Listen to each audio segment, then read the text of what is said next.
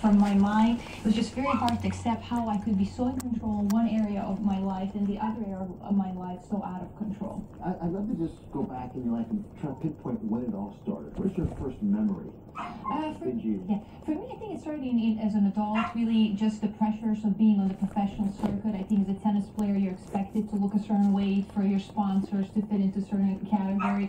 Uh, for me, uh, also personal issues. My father, who was also my coach. So different events happened in my life, and and really for me, uh, it was it overtook my life. I can't even emphasize that enough. That um, to give you an example, I just won a tennis tournament. It really should be the happiest day of my life.